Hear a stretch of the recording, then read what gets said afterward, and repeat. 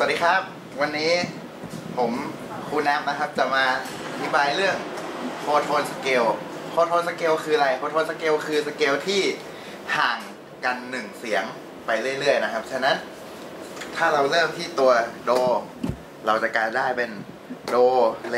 มีฟา sharp ซอล sharp ลา sharp แล้วก็จบที่โดนะครับ ทุกเสียงจะห่างกันหนึ่งเสียงเต็มนะครับ ลองฟังดูนะครับ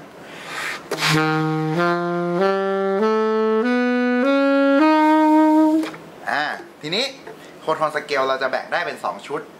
ชุดแรกเราจะเริ่มที่ตัวโด ชุดที่ 2 เราจะเริ่มที่ตัวโดชาร์ปนะครับ ชุดชุดที่ 2 ก็จะเป็น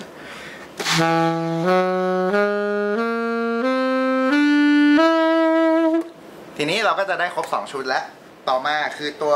ถ้าเราเริ่มที่ตัวเลนะครับ เราก็จะได้ เหมือนกับชุดแรก เพราะว่าชุดแรกเราจะได้มีตัวเลมาแล้วนะครับ ซึ่งทุกตัวมันจะห่างหนึ่งเสียงอยู่แล้วฉะนั้น โน้ตทุกอย่างจะเหมือนกันแค่เปลี่ยนตัวเริ่มแค่นั้นเอง อ่าอ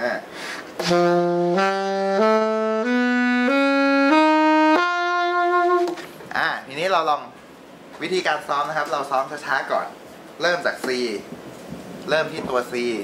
เริ่มที่ C sharp เริ่มที่ตัว D ขึ้นไปเป็นโครมาติกเรื่อยๆนะครับ อ่า ทีนี้เราก็จะได้โคโทนสเกลครบทุกสเกลที่เราต้องการแล้ว สวัสดีครับ